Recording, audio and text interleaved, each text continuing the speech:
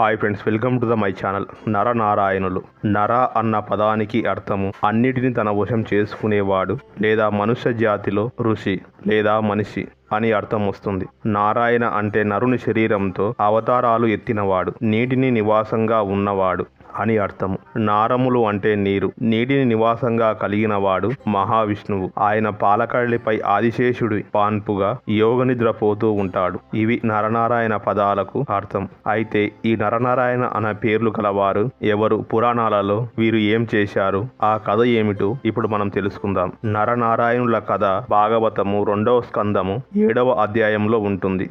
నరనారాయణులిద్దరూ కూడా కవల పిల్లలు. వీరి తండ్రి పేరు ధర్ముడు. తల్లి పేరు మూర్తి. లేదా అహింస బ్రహ్మ కుడి వక్షస్థలం నుంచి పుట్టినవాడు ధర్ముడు. ఈయన మనిషి జీవితంలోని భాగ్యానికి అంటే సంపదకి అధిపతి. ఈయన దక్ష ప్రజాపతి కూతుర్లు పదమూడు మందిని వివాహం చేసుకుంటాడు. వీరు కాక మరొక పది మంది ఇతరులను కూడా పెళ్ళాడుతాడు. ఈ ఇరవై మూడు మందిలోని మూర్తి అని దక్షుని కూతురి గర్భాన జన్మించిన వారే నరనారాయణులు. సాక్షాత్తు విష్ణుమూర్తి యొక్క అంశలే నరనారాయణులుగా జన్మిస్తారు. నరనారాయణులు మహావిష్ణువు యొక్క నాలుగవ అవతారం అని చెప్తారు. అంతేకాదు ఈ ధర్ముడు యమలోకాధిపతి అయిన యమధర్మరాజు ఒక్కటి కాదు. కానీ కొన్ని పురాణాలలో ఈ ధర్ముడే యమధర్మరాజు అని ఉన్నట్లుగా రాస్తారు.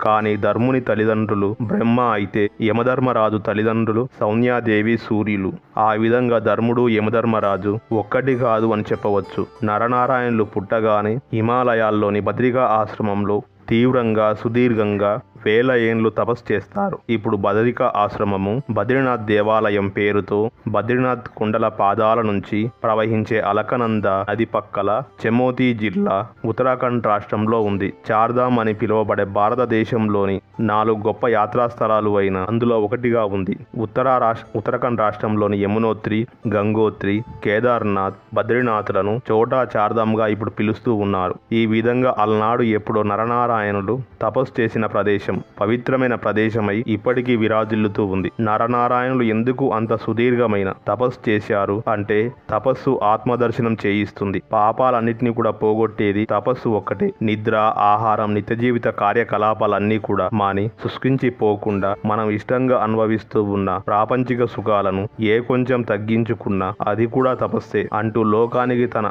తపస్సు ద్వారా తెలియజెప్పారు. మరొక ముఖ్య కారణం ఏమిటి అంటే సహస్ర కవచుడు అను రాక్షసుని కవచాలు ఊడగొట్టి అతని హతమార్చడం కోసము కూడా తపస్సు చేశారు. ఇక బదరీవనంలో బ్రహ్మదేవుని కోసము భీకరమైన తపస్సు చేస్తూ ఉన్న నరనారాయణుల గురించి ఇంద్రుడికి తెలుస్తుంది. ఇంద్రుడు చాలా భయపడిపోతాడు. అంత క్రితం చాలా మంది రాక్షసులు అలా తపస్సులు చేయడము తన ఇంద్రసింహాసనం పైకి దాడికి రావడము ఆయనకు చాలా అనుభవం కదా. ఈ నరనారాయణులు కూడా తన సింహాసనాన్ని లాక్కునేందుకు తపస్సు చేస్తున్నారేమో అని తాను ఎప్పుడూ ప్రయోగించే అస్త్రాన్ని ప్రయోగిస్తాడు. అప్సరలను పంపించి తపస్సు భగ్నం చేయడానికి ప్రయత్నం చేస్తాడు. కానీ నరనారాయణుల తపస్సు భంగం జరగదు. అప్పుడు ఇంద్రుడు అనేక మంది మహర్షులను వారి వద్దకు పంపించి వరం కోరుకోమని అడిగిస్తాడు. కానీ వారు ఎలాంటి వరము కోరుకోరు. స్వయంగా తానే వెళ్ళి కూడా అడుగుతాడు. కానీ అప్పుడు కూడా వారు బదులు పలకరు. తపస్సు చెదరనియ్యరు తర్వాత ఇంద్రుడు వారిపైకి క్రూర జంతువులు అయిన పుల్లను సింహాలను విషపు పురుగులైన పాములను పంపిస్తాడు. కానీ వారు వాటి ఏంటికి కూడా చెలించరు. తుఫాన్లను అగ్నివర్షాలను కూడా సృష్టిస్తాడు. అయినా చెలించకపోవడంతో కామధేనువు చేత అతని భార్య రతీదేవిని శీతాకాలంగా సృష్టింపజేస్తాడు దేవేంద్రుడు. ఆ చలచల్లని వాతావరణంలో నూట ఎనిమిది మంది అప్సరలను రంభతో పాటుగా పంపిస్తాడు ఇంద్రుడు. వారంతా వచ్చి నరనారాయణుల చుట్టూ నాట్యం చేసి వారిని మైమరిపింపజేసి వారి తపస్సు భగ్నం చేయాలని ప్రయత్నం చేస్తారు. ఆ అల్లరికి కళ్ళు తెరిచూస్తారు నరనారాయణులు. వారి ఎదురుగా జగవిఖ్యాత అందాలను పరుస్తూ అప్సరల గుంపు చిత్ర విచిత్రమైన భంగిమలతో కనబడతారు. ఇదంతా కూడా ఇంద్రుడు చేస్తున్న పని అని తెలుసుకొని ఒక చిరునవ్వు నవ్వి తన ఉరులపై కొడతాడు నారాయణుడు. వెంటనే ఆయన ఉరుల నుంచి ఒక జగన్మోహన రూపంతో అందాలకి అందంలాగా ఊర్వశి జన్మించింది. ఊరువు అంటే తొడ అని అర్థం. ఊరువు నుంచి జన్మించింది కనుక ఆమెకు ఊర్వశి అనే పేరు వచ్చింది. ఆ ఊర్వశిని తన వద్దకు వచ్చిన వారికి అప్పగించి ఇంద్రుడు మా వద్దకు మీ అప్సరలను పంపడం కాదు కాని మేమే ఆయనకు ఈమెను బహుమతిగా ఇస్తూ ఉన్నాం. ఈమెను తీసుకుని వెళ్ళి ఇంద్రుడికి అప్పగించండి. మరొక మాట మేము ఇంద్రుని సింహాసనం కొరకు తపస్సు చేయడం లేదు. ఆయన్ని భయపడవద్దని చెప్పండి. మేము లోక కళ్యాణం గురించి మాత్రమే తపస్సు చేస్తున్నాం. లోకంలోని అజ్ఞానంధకారాన్ని తొలగించడం కొరకు మాత్రమే తపస్సు చేస్తూ ఉన్నాం అని చెప్పండి. ఆయనకు ఏదైనా ఆపది వచ్చిన మమ్మల్ని సాయం అడగమనండి. మేము తప్పకుండా సాయం చేస్తాం. తపస్సు చేయడం ఎంత భీకరంగా చేయగలమో? అంతకంటే భీకరంగా సంగ్రామం కూడా చేయగలము. అని ఊర్వశిని ఇంద్రుడికి కానుకగా పంపిస్తారు. ఇది జరిగిన కొంత కాలానికి దేవాసురులు అమృతం కొరకు పాల సముద్రాన్ని చిలుకుతారు. అందులో నుంచి అమృతం వస్తుంది.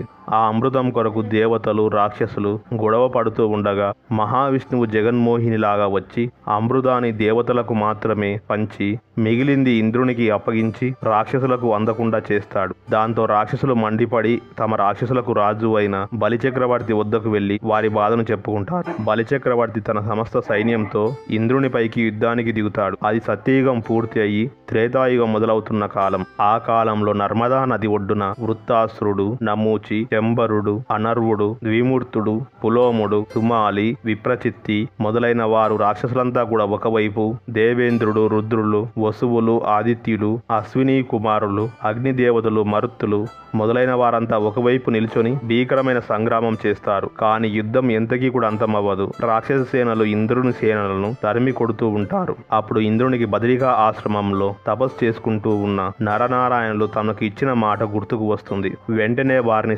సంహరిస్తాడు. అప్పుడు వారు ధనుర్బాణాలు ధరించి వచ్చి రాక్షస సేనను ఎదుర్కొంటారు. నరనారాయణల బాణాల పరంపరను తట్టుకోలేకపోతారు రాక్షసులు. వారి పరాక్రమం ముందు నిలవలేక చచ్చేవారు చావగా మిగిలిన వారు పారిపోయి సముద్రంలో దాక్కుంటారు. అలా దేవాసుర యుద్ధంలోకి అత్యంత కీలకమైన పాత్ర వహిస్తారు నరనారాయణులు. మరొకసారి మహాశివుని పత్ని సతీదేవి తన భర్తను అవమానించాలని బాధపడి తట్టుకోలేక తన తండ్రి దక్షుడు నిర్వహిస్తున్న యజ్ఞగుండంలో దూకి ఆత్మాహుతి చేసుకుంటుంది. అందుకు పరమశివుడు యజ్ఞాన్ని భగ్నం చేయడానికి తన శక్తిని దక్షుడిపైకి పంపుతాడు. అది దక్షయజ్ఞాన్ని భగ్నం చేసి మరలి వస్తుంద భద్రికా ఆశ్రమంలో తపస్సు చేసుకుంటూ ఉన్న నారాయణుడి హృదయానికి తాకుతుంది. అప్పుడు నారాయణుడు హుం అనే శబ్దాన్ని బయటకు విడుస్తాడు. ఆ శక్తికి ఆ శబ్దానికి శక్తి అక్కడ నిలవలేక వెనక్కి వెళ్ళి శివునికి చేరుతుంది. తన శక్తిని తిప్పికొట్టిన వారిపై కోపించి శివుడు నరనారాయణలపైకి దండెత్తి వస్తాడు. అప్పుడు నరుడు ఒక గడ్డి పొరకను మంత్రించి శివునిపైకి విసురుతాడు. అది గొడ్డలిగా మారి శివునిపైకి దూసుకుని వస్తుంది. శివుడు దాన్ని విరగొడతాడు. అప్పటి నుంచి శివుని కండ పరశుడు అని అంటారు. కండ అంటే ఖండించడం పరశు అంటే గొడ్డలి అని అర్థం. అప్పుడు నారాయణుడు తనలోని శక్తిని శివుడిపైకి వదులుతాడు. ఆ ఆ శక్తి వేడికి శివుడి తల వెంట్రుకలు ఎండిన గడ్డిలాగా మారుతాయి. ఆ తర్వాత దేవతలంతా కూడా వచ్చి వారి యుద్ధాన్ని ఆపుతారు. మరొకసారి హిరణ్యకశిపుని కుమారుడు ప్రహ్లాదుడు బద్రిక ఆశ్రమానికి పుణ్యతీర్థాలను దర్శనం చేసుకుంటూ వస్తాడు. అతడికి అక్కడ ఒక చెట్టు కింద తపస్సు చేసుకుంటూ ఉన్న నరనారాయణులు కనబడతారు. వారు కూర్చొని ఉన్న చెట్టు కొమ్మలకు రకరకాల ఆయుధాలు వేలాడదీసి ఉంటాయి. ఋషులు అయిన వారికి ఈ ఆయుధాలతో పని ఏమిటి? అంటూ నరనారాయణులతో ఘర్షణకు దిగుతాడు ప్రహ్లాదుడు. చివరికి ఆ ఘర్షణ యుద్ధానికి దారి తీస్తుంది. నరుడు అజగమం అనే తన బాణాలతో యుద్ధం చేస్తాడు. కానీ ప్రహ్లాదుడు అతనికి దీటుగా ఎదుర్కొంటూ ఉంటాడు. అప్పుడు నారాయణుడు యుద్ధానికి దిగుతాడు. ప్రహ్లాదుడు తన బాణాల పరంపరను తట్టుకోలేక పడిపోతాడు. ఆ తరువాత ఆయన మహావిష్ణువు అవతారం అని గుర్తించి పూజిస్తాడు. మరో కథలో దంబోద్భరుడు రాక్షసుడు శివుడి కోసం తీవ్రమైన తపస్సు చేస్తాడు. చివరికి శివుడు ప్రత్యక్షమయ్యి ఏం కావాలో కోరుకోమని అడుగుతాడు. తనకు చావే లేకుండా వరం కావాలని కోరుకుంటాడు. అది సాధ్యం కాదు. పుట్టిన ప్రతి జీవి చావక తప్పదు. అది సృష్టి నియమము. మరొకటి కోరుకోమని అంటాడు శివుడు. అప్పుడు ఆ రాక్షసుడు తన ఛాతిని రక్షిస్తూ వెయ్యి కవచాలు కావాలని ఆ కవచాలు చీల్చాలంటే ఒకవైపు వైపు ఐదు వందల ఏండ్లు తపస్సు చేస్తూ మరొక వైపు యుద్ధం చేసే వారి చేతిలో మాత్రమే తన కవచాలు చీల్చబడాలి